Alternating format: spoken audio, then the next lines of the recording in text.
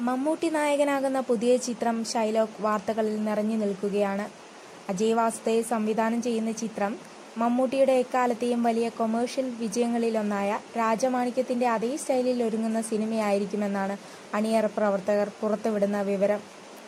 Goodwill എന്റർടൈൻമെന്റിന്റെ മാനറിൽ അജയ് വാസുദേവ് സംവിധാനം ചെയ്യുന്ന മമ്മൂട്ടി ചിത്രം രാജമാണിക്യം ടു ആയിരിക്കുമെന്ന രീതിയിൽ നേരത്തെ റിപ്പോർട്ടുകൾ വന്നിരുന്നു. എന്നാൽ അങ്ങനെയൊരു പ്രൊജക്റ്റ് ചിന്തയിലുണ്ടായിരുന്നെങ്കിലും അത് വർക്കൗട്ടായില്ല എന്നാൽ ആ സിനിമയുടെ അതേ ഫ്ലേവറിൽ മറ്റൊരു പ്രൊജക്റ്റ് എന്ന ആലോചനയാണ് ഒടുവിൽ ഷൈലോക്കിൽ എത്തിച്ചേർന്നിരിക്കുന്നത്. ഈ വർഷം ക്രിസ്മസ് റിലീസായി ഷൈലോക്ക് പ്രദർശനത്തിനെത്തിക്കാനാണ് പരിപാടി. ഡാർക്ക് ഷെയ്ഡുകൾ ഉണ്ടെങ്കിലും രസിപ്പിക്കുന്ന നായകനായി തന്നെയാണ് മമ്മൂട്ടി ഈ സിനിമയിൽ വേഷമിടുന്നത്.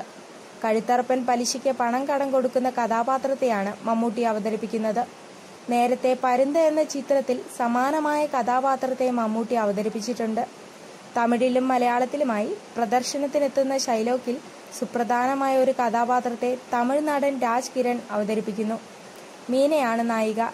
രണദിവെ ഛായാഗ്രഹണം നിർവഹിക്കുന്ന ഷൈലോക്കിന്റെ ചിത്രീകരണം ഓഗസ്റ്റ് ഏഴാം തീയതി ആരംഭിക്കും.